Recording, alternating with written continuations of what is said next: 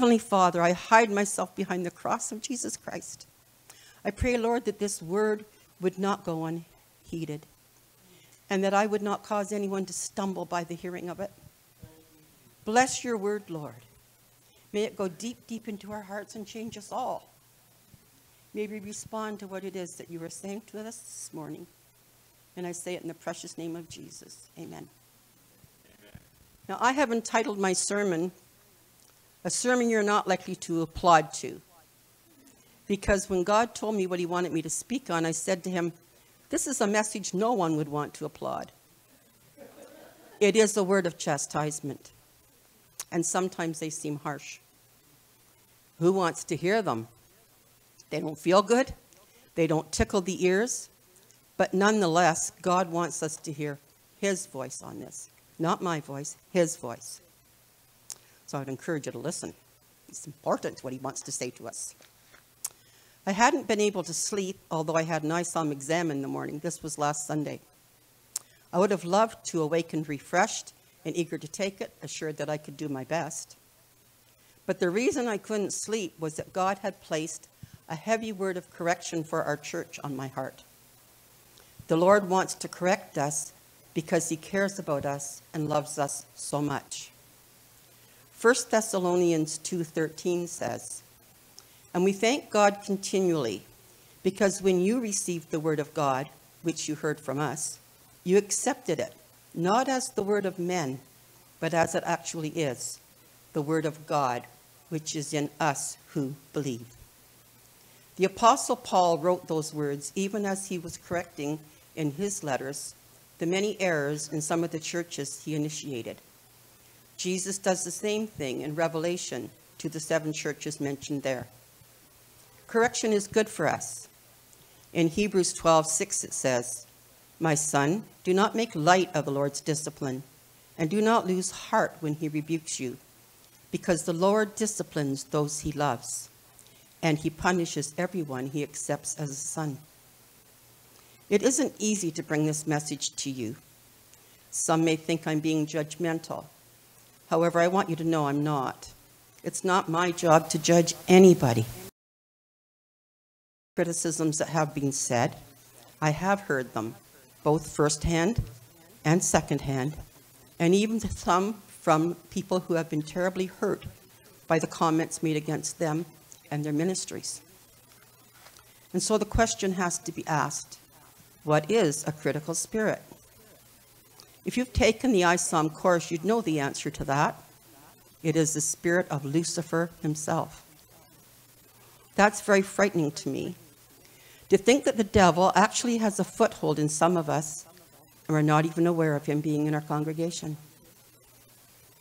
We're living in a time where the devil doesn't even bother to hide anymore. We've been blinded a bit at a time until we no longer recognize him. The world certainly isn't aware of him, but we should be. You know, this kind of reminds me of a little story of the frog that you take out of a nice pond and you put him in a pot of water, and he's quite comfortable. You turn the heat up underneath him, and you would think the frog would get the heck out of that pot, but he doesn't. He becomes tolerant of the increase of the heat.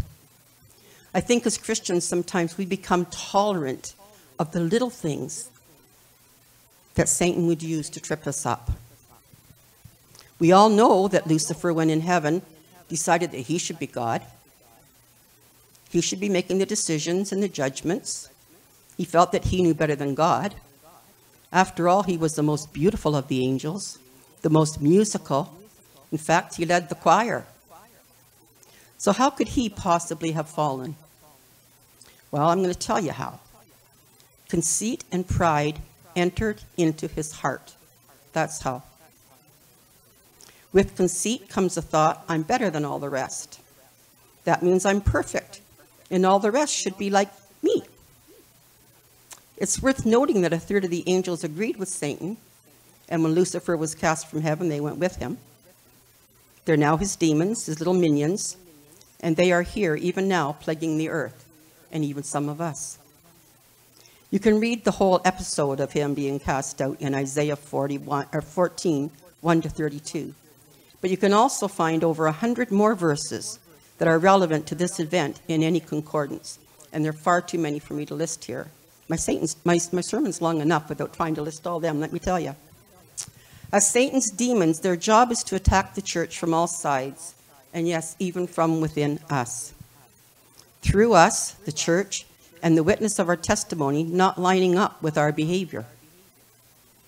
One of their main tactics in order to do this is to cause pride, judgment, and criticism to rear its ugly head in us. We take on the spirit of Lucifer when we decide to criticize our brothers and sisters and even those who are not yet saved. We need to ask are we like Lucifer? Do we actually think that God made a mistake when he made that person that we're finding fault with? Do we think we could have done a better job and that they should be more like us? Of course, we would all say we don't think that way. And I'm sure on a conscious level, we do not. However, underneath our cognitive thinking selves, there is unknowingly that very idea brewing in us. We really don't agree with how God made the person we're finding fault with, do we? Why didn't God make them more like me? I'm so perfect. Really? We think so? It doesn't take much honest examination of ourselves to find that we are not. I want to address some of the areas we seem to be finding the most fault with, the areas we're criticizing and judging. Here are just some that I personally know of, and to be honest with you, some that I have also fallen into that fault with. The worship team, the media booth, the sermons, the communion, the ushers, Stan dancing, the way so and so dresses, and I could go on and on. My point here is not to point them out, but rather to bring to our minds some of our own thoughts, and yes, even some of our spoken comments regarding these areas. Just a quick reminder here out of the heart the mouth speaks. Luke 6 45. What does your mouth speak? Blessings or curses? Encouragement, or criticism. These are complete opposites. I want to point out here that God Himself has given the talents to those who would serve Him. What they have is what He has given to them, and I know that each person who's giving their time and talents to the Lord are doing their very best. When we are critical of them, we are saying God didn't do enough. He didn't bless them in the way that best serves and suits us. We would rather that he had given them more talent or a different talent. And that, my dear friends, my dear sisters and brothers, is the very spirit of Lucifer. I want to address another fact here. We do not know what God asked of those we are criticizing, do we? Do we know the heart of the person that's serving? Are they in their position only as a show, or are they sincere of heart to serve the Lord? Can we really be the judge of that? Should we even try to be the judge? Personally, I think not. Only God the Father has the right to do that. Now, I'm going to tell you a little bit about Stan, because he's one of the ones that I know had criticism about his dancing. And I have his permission to speak, so I'm not revealing anything. As his wife, I know many things about him that you don't. I think I know him really, really well. But even I cannot and will not judge his heart toward the Lord. Proverbs 21 2 says, Every man's way is right in his own eyes, but only the Lord knows the heart. So, since I'm talking about Stan, let's look at his dancing. It's not always pretty, it is not meant to be. It's not always in time to the music. And again, it's not meant to be. Why do I say that? Because if God wanted it that way, he would have made Stan able to dance in perfect rhythm with the music. He didn't.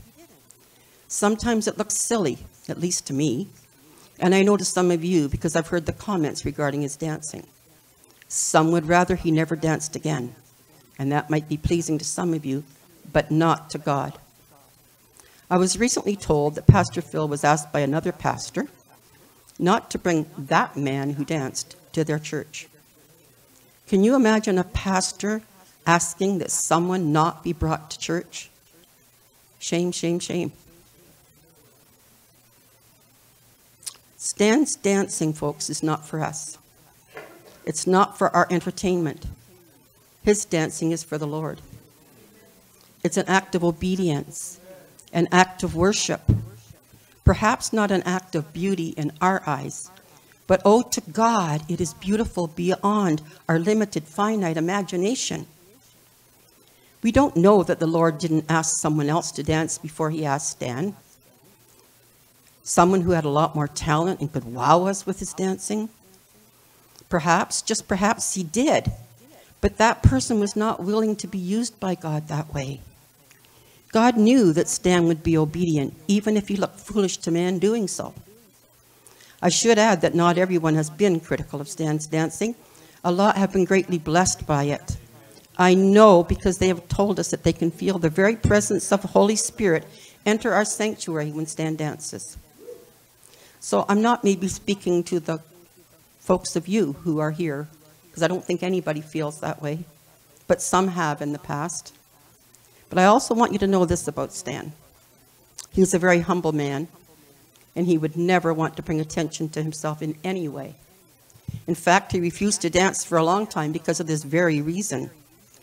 What you may also not know is that many years ago, as we were standing during worship, the Lord told Stan to dance.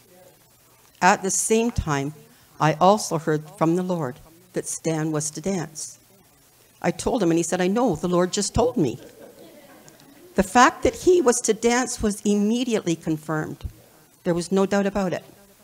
However, even talking to our pastor at the time, Pastor Tunikaitis, and a couple of other pastors who were, I might add, very encouraging, Stan did not get up and dance. He knew he was supposed to, but fear of man and the knowledge that he had two left feet kept him in his seat. A pastor realized Stan's fear and took him forward and danced with him in front of the whole congregation while they sang, Dance Like David Danced. It was a very joyous moment in that little church, and everyone started to dance and genuinely praise God. They became totally free to worship with all their hearts, and they didn't care what it looked like. They were so engrossed with worshiping through dance, they didn't even see what was happening around them with everybody else. And this event gave Stan the courage to step out and be obedient to the voice of God. The fear of man was gone, and the fear of the Lord was made present in Stan's heart. Over our stage is the writing, Where the Spirit of the Lord is, there is freedom. Do we really believe that? Or should we just paint over it and put something like, I'm all bound up and all chained up in its place? It's a repulsive thought, isn't it? But it's the truth. Most of us are all chained up and all bound up. Can't even raise our hands in worship. Oh, heavens, somebody might see me raise my hands in worship. I've just addressed the problem of a critical spirit with one of our members, Stan, but there are many others too. Since I don't know all their backstories and how they got where they are in the church, I'll not try to explain them. What I do know about each of these aforementioned folk is that they're doing what God has called them to do and they are doing it to the very best of their God given ability. They pray about what they are doing and they hear from the Lord as to what He wants of them. And again, they're not here to entertain us. Who are we to tear them down? Can't we see who is behind the critical spirit in us? Are we so immature that we can honestly say we didn't know that it was wrong to behave this way? I don't think so. Please understand, I'm not criticizing you. If you're feeling troubled or convicted, it's not for me. I mean, I've had to go through this. It is Holy Spirit trying to bring correction to our hearts. Are you like me? Yes, even me, finding fault in your brothers and sisters?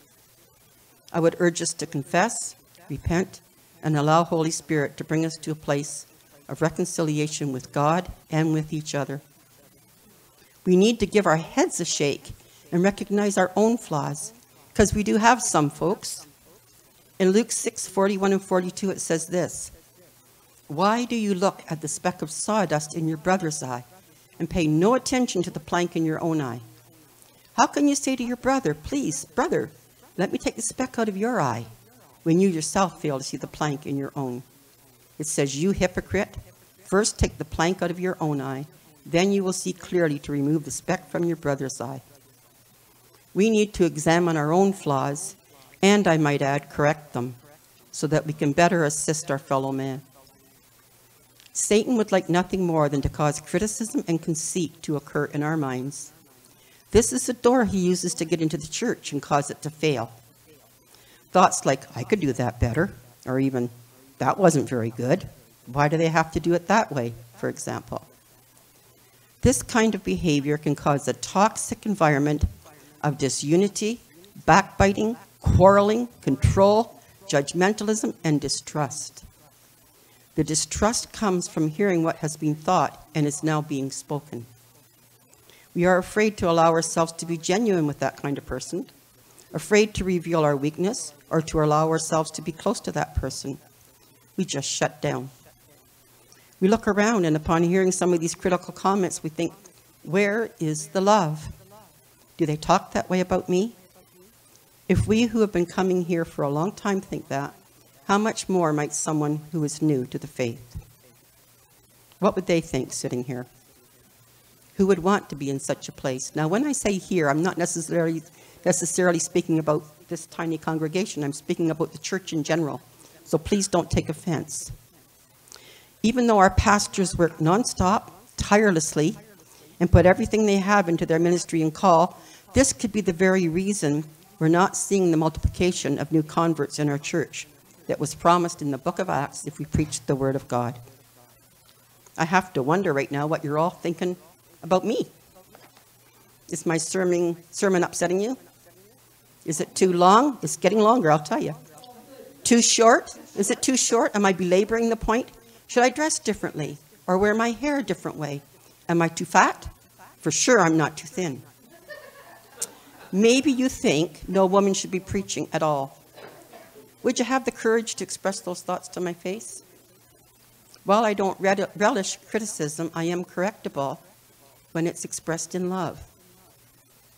The Word of God says, They will know you by your love one to another. John 13, 35. Are we showing love when we tear someone down, especially someone doing their very best? Have you ever noticed that those who do the most criticizing are those who are sitting in their seats? They're not the ones doing the work, are they? Instead of criticizing, how about lending a hand or doing something constructive to make the ministry better? How about trying that? We should be lifting each other up and cheering each other on, not trying to outshine each other or tear each other down. What is wrong with us? Are we such baby Christians that we cannot see what is right above our nose, our brain, where we think, or what is right under our noses, our mouth. Both can be very destroying to our souls. Before we even speak, it is in our mind that the devil begins to weak, work. He wants to control us. He wants to control our thoughts. Unknowingly, little by little, we've allowed Satan to slice away until sometimes there's not much left of our witness as a Christian. Remember what I said earlier? Satan doesn't even try to hide anymore because he doesn't have to. We don't seem to realize that he's at work in us. Now, Satan has a couple of good qualities that we should all emulate. And when I said that at home, everybody looked at me like, Are you nuts? But listen, here are three. He's not lazy, he never quits and he works tirelessly to get the job done. He is at work trying desperately to cause us all to fall away. He knows the time is short. If we tried as hard not to fall away, we could all be in a better place. Our mind is like a compass. It directs us along a path that mimics thoughts and habits. Therefore, we should manifest pure thoughts because eventually your way of thinking becomes habits, and habits become our lifestyle. Of course, it is our mind, and we can choose to think and believe whatever we want. But remember, Satan can influence our thinking, and he is the wrong one to allow that privilege. We can say to ourselves, It's only my opinion. Don't I have a right to my opinion? Of course we do. We can all have an opinion as to what color a room should be, such as our sanctuary. Nick Watson thought maybe lime green would be nice. We can express our expression and our opinions on what we should wear, even what car is best. But when it comes to an opinion about people, whose opinion is the right one? Yours? Mine? Or perhaps the one who created them in the first place? Jesus. He's the only one whose opinion should matter to us. Jake Woodard said something like this, to which I've added my thoughts. Imagine your mind like a garden, and your thoughts are the seeds. You get to choose which seeds you want to plant in it. You can plant seeds of negativity, criticism, and discord, or you can plant seeds that will produce good relationships with God and each other. You could also spend your time trying to take care of everybody else's garden, making theirs like your own, not allowing them to choose what seeds they want or how to plant and water their own way. A pretty boring landscape would ensue. I think it best to tend to your own garden, making it as beautiful as possible and thus attracting others to yours. The same could be said about ministries. Take care of our own. And if we don't have one, that could be part of the problem.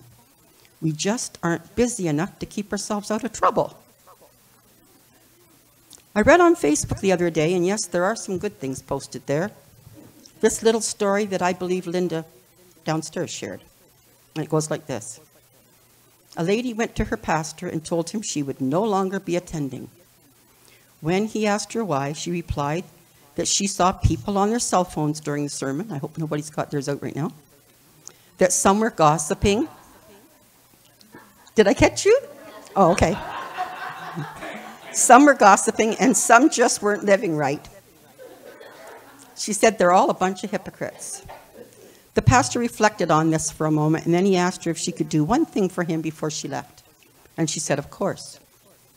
He asked her to walk around the church two times with a glass full of water, being careful not to spill a drop. She agreed. When finished, she returned to the pastor and said, I didn't drop any.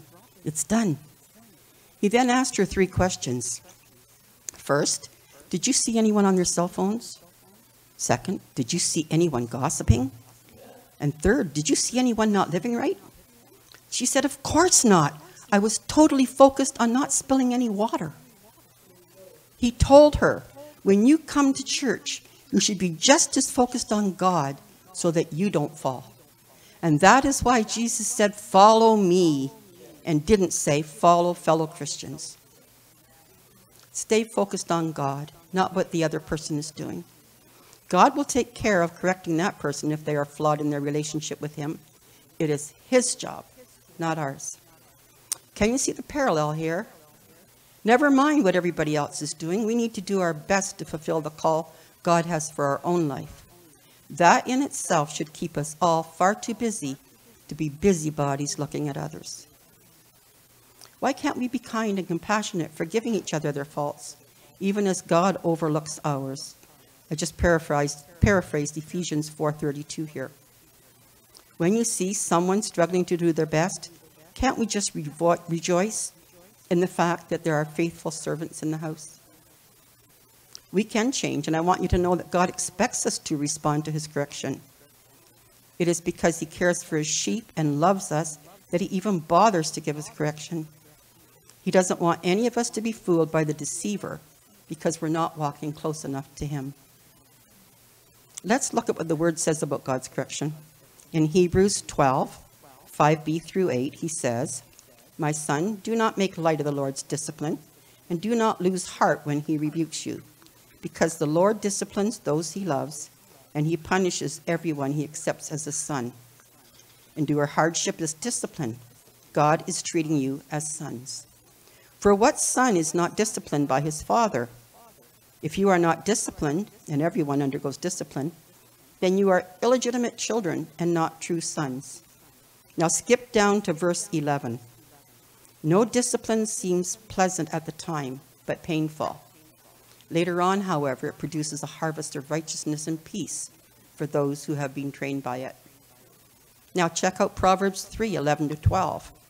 My son, do not despise the Lord's discipline, and do not resent his rebuke, because the Lord disciplines those he loves, as a father the son he delights in.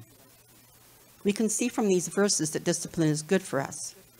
I remember the first time I read Hebrews 12, 5 through 8.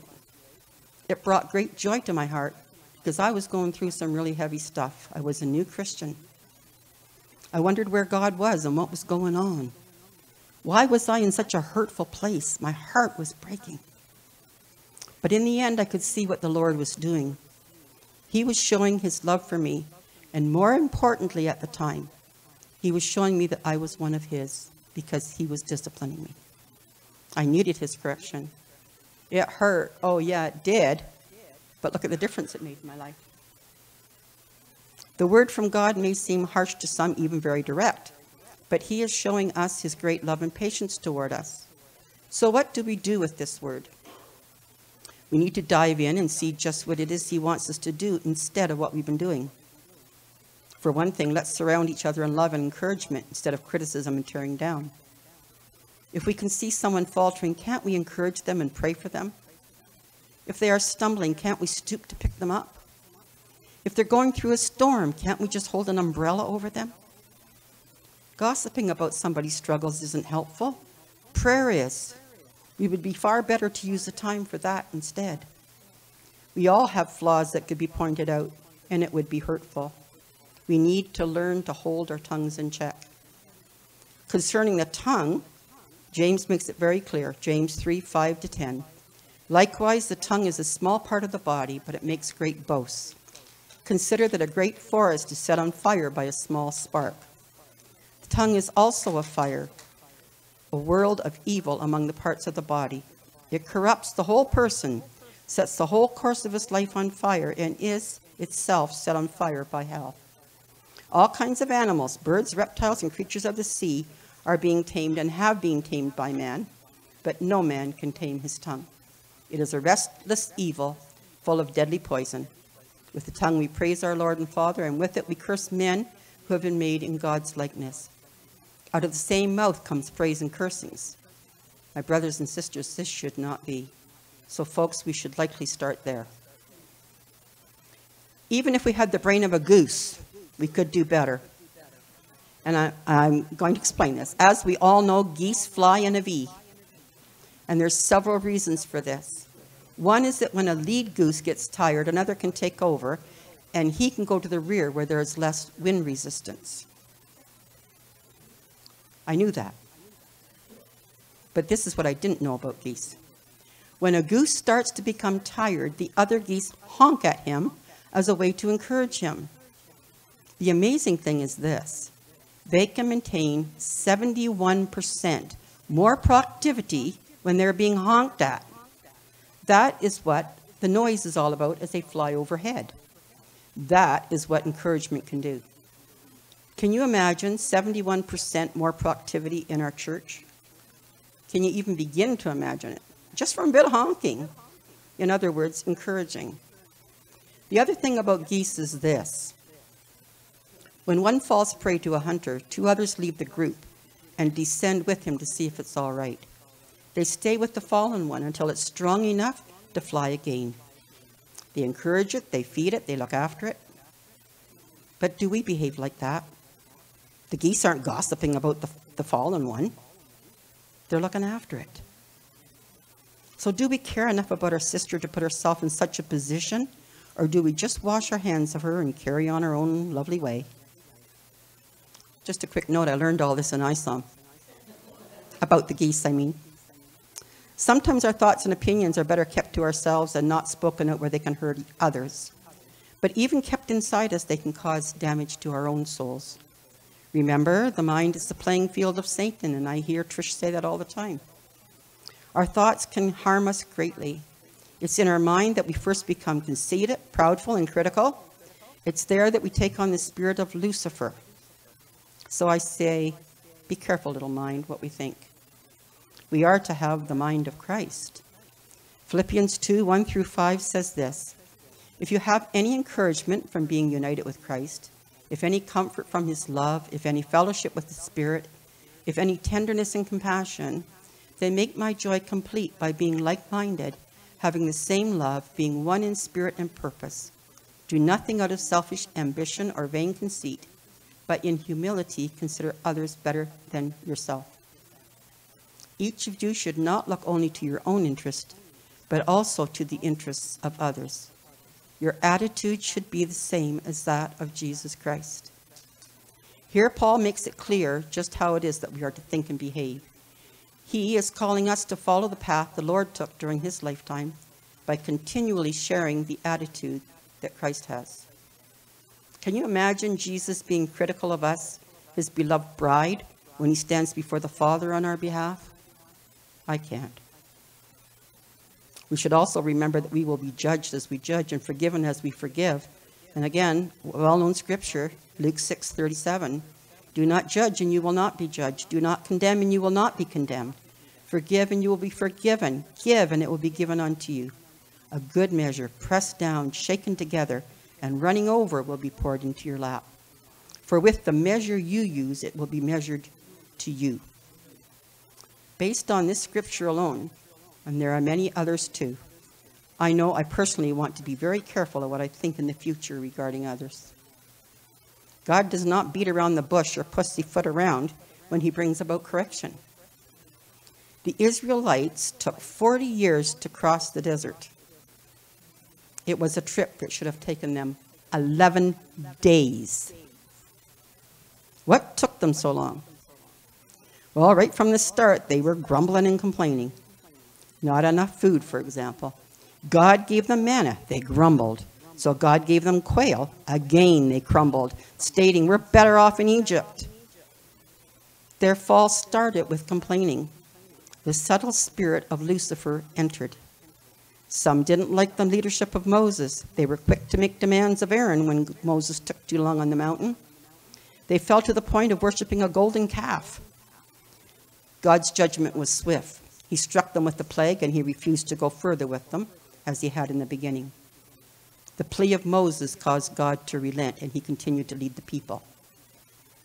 None of the 600,000 people, except for Joshua and Caleb, were allowed to enter the promised land. They all died in the desert. A generation that left Egypt perfectly healthy died off in a matter of 40 years. It is worth remembering that in the day of Moses, people lived a lot longer than we do now. Moses lived to the age of 120. He started his leadership at 80. Who of us at 80 or even 50 would strike out to lead 60, 600,000 people through a desert? A matter of 40 years should not have killed them all. But God could not allow an ungrateful, critical, complaining, sinful people into the land of milk and honey where they could continue to contaminate the younger generation. When I was a little girl of about five or six, my dad got me a pair of red sandals.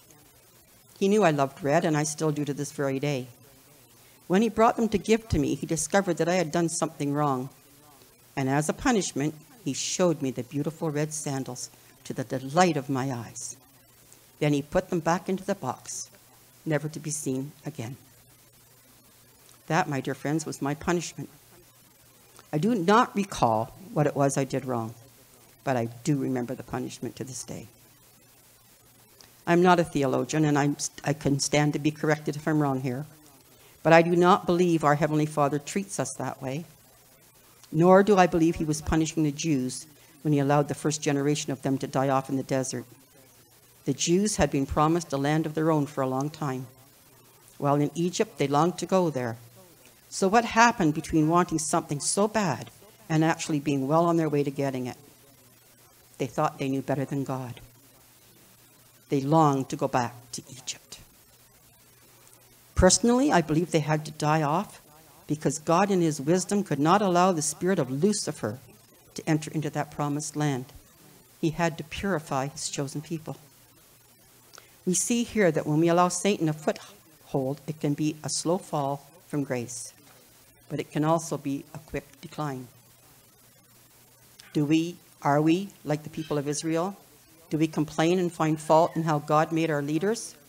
Are we wandering in the wilderness like the Jews did, complaining and grumbling? Wouldn't we prefer to have the promises of God and move through giving Him praise? God's punishment for our critical spirit could be us not receiving His reward. Are we seeing the souls coming to the kingdom of God that were promised when we preached the word? I don't think so. Our numbers in Canada and the Western world are declining. Just as the grumbling Israelites couldn't enter the promised land, the grumbling ones of us might not see the harvest of souls either. If we don't have a change of heart, we just might be the ones in the way of that harvest. We need to be purified. Our minds and our hearts have to change to reflect that of Christ. Do they? A lot of questions for us to think about this morning. Altar team, could you please join me up here? And Gord, if you could put that music up for me, I would appreciate it. If you, like me, have been moved by this word from the Lord, please come forward to receive prayer. You can receive forgiveness and a clear conscience, able to walk in the fullness of Father God's love. I know I personally need to repent of a critical, conceited, judgmental spirit. So I myself am stepping forward as an act of obedience to this word from God. Won't you who feel the same join me?